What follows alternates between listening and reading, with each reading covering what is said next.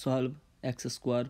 plus 5x plus 8 equal to 0 now using the quadratic formula x equal to negative b plus minus square root b square minus 4ac over 2a now we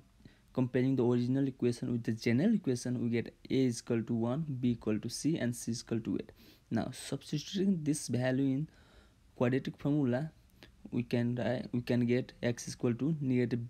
5 plus minus square root 5 square minus 4 times 1 times 8 over 2 times 1 then we have negative 5 plus minus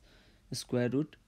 5 square which is 25 minus 4 times 1 times 8 32 over 2 then we have negative 5 plus minus square root 25 minus 32 which is equal to negative 7 over 2 then we can write negative 5 plus minus square root 7 times square root negative 1 which is same like square root negative 7 over 2 then we can write negative 5 plus square root 7 i. I is denoted as